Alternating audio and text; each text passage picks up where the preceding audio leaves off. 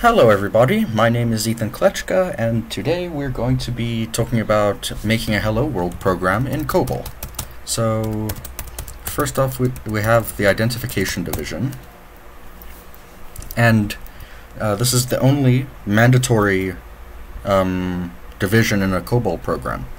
It is the first one that, it also has to be the very first one you define.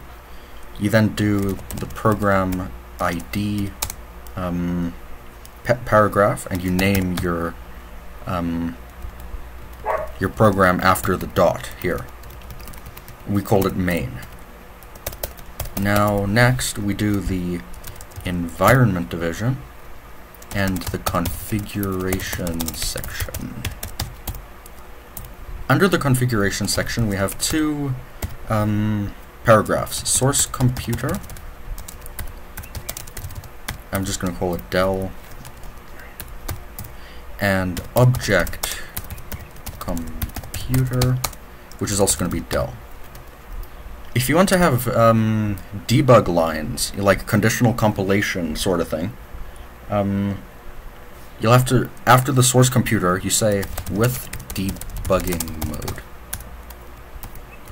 Okay that'll allow you to do a D in column 7 and you can just um, have a line that only displays if you have that. Okay, next up we have the data division and the working storage section. Um, here you define your variables. We'll discuss variables later on in another video, but for now just know, like, the data division is where you declare all of them. Yeah, then you have the procedure division. You then move to area B, which is this area here. Like, I don't know if you can see, but it's like here. That's area B.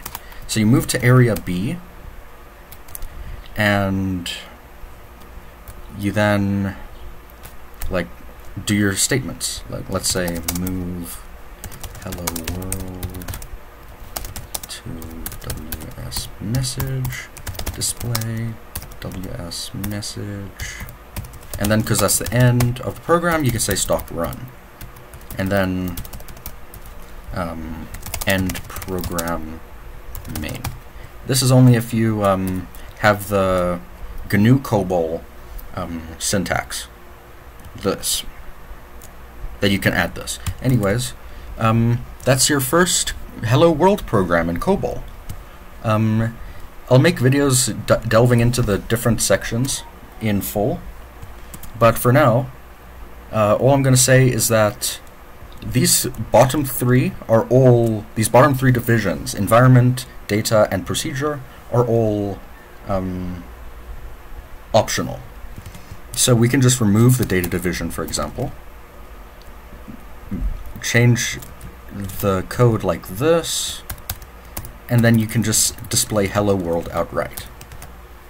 And there we go, your Hello World uh, program in COBOL. It's important to note that you don't need to have um, all caps when you're typing this stuff. Um, I just do it because it looks cooler. but yeah, thanks for watching.